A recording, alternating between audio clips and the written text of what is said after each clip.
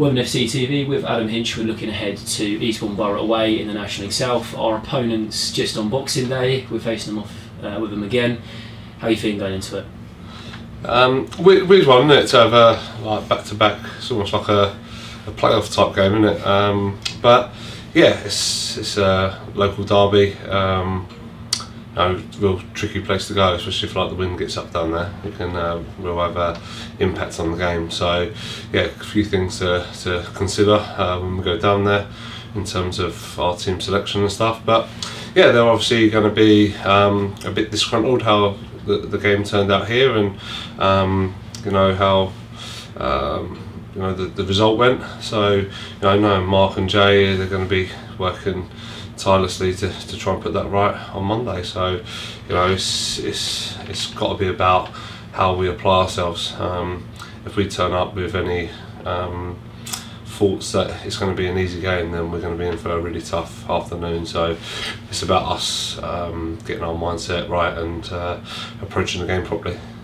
We've obviously been to Priory Lane already this season. It was pretty tricky in the FA Cup, and we maybe got away with one that afternoon obviously shows that they've got a lot of quality there and they are a tough opposition to come up against at their, at their place. No, they certainly are, and you know, there's the level of um, quality of player that they've been able to attract. Um, know, will tell you that, and I think even you know, as maybe good as the performance was, there are still moments where you know Eastbourne causes some problems. So you know, they'll definitely be looking at that and trying to implement a few more of them, especially being at home. Um, like I say, we've got a, you've got almost, um, you know, put put um, the last fixture to one side and, and really focus on, on this game. It's a fresh game and um, completely different um, circumstances, and we've got to, like I say, mentally be be ready um, and approach the game properly. How's the squad looking ahead of it, and how's the preparation been going into it?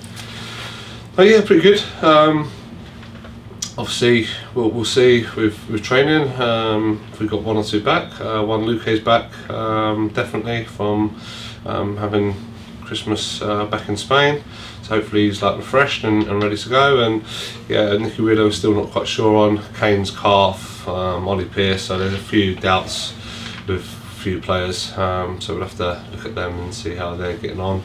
Um, but yeah there, will be no complaints. Um, I still feel we'll have enough um, to put a competitive team out there, and like I say, it'd be down to to us to, to try and um, try and rediscover the, the, the, form and the performance levels uh, from our last game.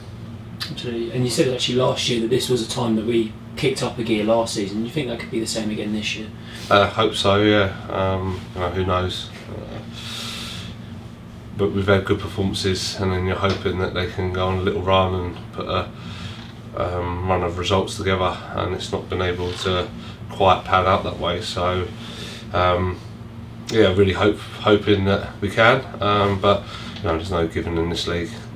Got to be at it and, and mentally more than anything um, for, for every game, and that's that's got to be our challenge. So it's our first game of a new year in 2024. Looking back on 2023 as a whole, plenty of achievements over the year. What have you made of it as a whole?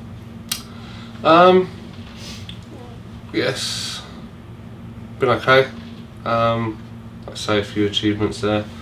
FA Cup run maybe and winning the Sussex Senior Cup. Uh, our first um, go at this level and, and finishing sort of fourth. Um, but yeah, just feel there's more more to come and want to keep striving and keep pushing. Um, don't want us to get in a position where we're happy with what we're doing and um, we obviously got knocked out of the Sussex Senior Cup, got knocked out of the trophy early this year. Um, there has been some heavy defeats. So yeah, not all all singing, all dancing. We've loads for us to improve on, um, and that's got to be the, the, the key message going into the new year. Is you know there's still still more to come, um, and you know, if we get the players believing that as well, then um, want to push and, and improve things in, in, in the new year. And just uh, one final word for uh, George Dow. Uh, just came out yesterday that he's getting awarded an MBE in the New Year's Honours list. I mean, I think we both agree. I think all of us at the club can agree. Very well deserved. Uh, few words on George. Uh, what, what an achievement for him. Oh yeah, George Dow, MBE, he's got a certain ring to it, innit? Um, I like to say fully deserved. Uh, you know, what an inspirational character um, and person he is, and um, yeah, just should be absolutely delighted, like we are as a as a club, um, to have someone like that.